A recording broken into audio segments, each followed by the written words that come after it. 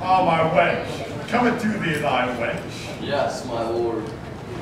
Caesar is my best friend, but he is growing too powerful. Oh, that's... Caesar, eh? Hey. Shall we poison his food?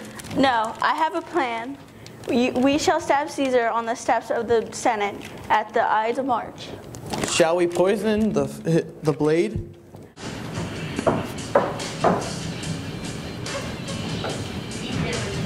Excuse me?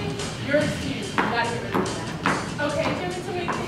I present to you all Jen Christie. Oh no, I hope she doesn't accept the wand. I present the royal wand to you, Guys, having a good time or what? Yeah! Man, I hate Tanya. Priscilla left. Yeah, I'm totally